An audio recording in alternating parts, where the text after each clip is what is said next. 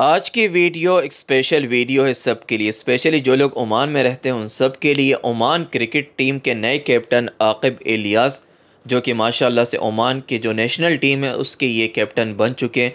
मुबारकबाद इनको और सबको, पूरी टीम को। इसके अलावा टी ट्वेंटी वर्ल्ड कप में इनकी टीम खेलेगी, जिसको आकिब इलियास लीड करेंगे इन ताला। इनके मैं कुछ झलक दिखाता हूँ इनके खेलने की, जो कि बहुत ज़्यादा मेहनत के बाद ये बहुत टाइम से ओमान टीम में खेल रहे थे और ये ऑल राउंडर है।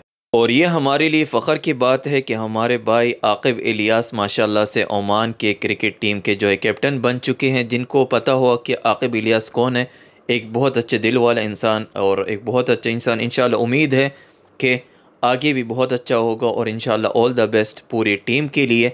इनके अलावा जो इनके टीम तो ये है आकिब इलियास जो कि माशाल्लाह ऑल राउंडर और अब इनकी मैं एक झलक दिखाता हूँ वीडियो में कि, कि इनका खेलने का तरीका।